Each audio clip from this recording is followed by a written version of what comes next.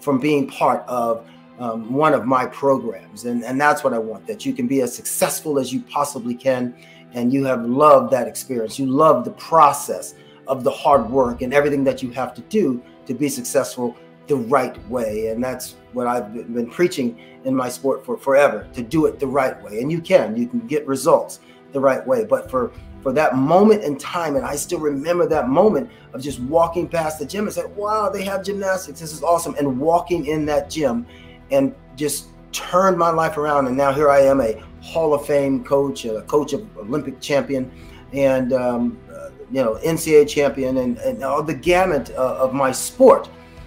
Just by walking past the gym that day, changed my life. That moment in time. And I fell in love watching this show because um, there was so many episodes. The writing was amazing, the story, and it was like a, a game too because you're trying to figure out who the murderer. The movie I was watching when my wife called and said she was pregnant again, and it lucked out because the baby hit her blood type, so he was born perfectly healthy. You know, ESP psychic. My mother saw the future on her deathbed, and uh, it was amazing.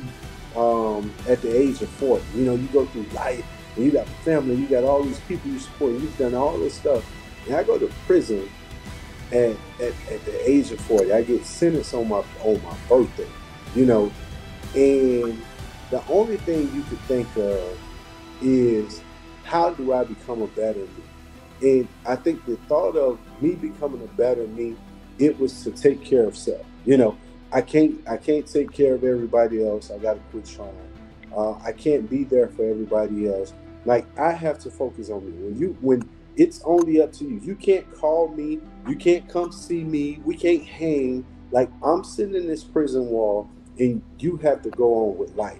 I think all of us need, you know, and, and I did this for six months and it was the best six months that I've had in a long time.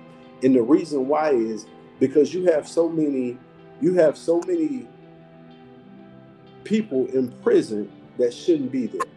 But no one really cares if you did it or not. And you have so many God fearing men that you say, why aren't they in society? How do we get these people back into society?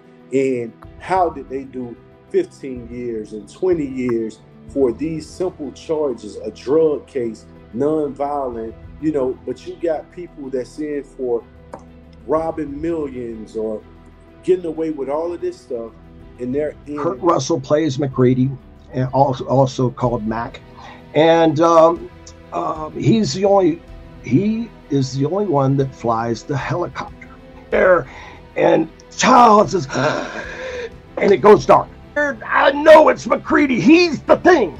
That's it. In order to have an unbiased reporting, you've got to report the facts. I don't care who the anchor person is, who the reporter is.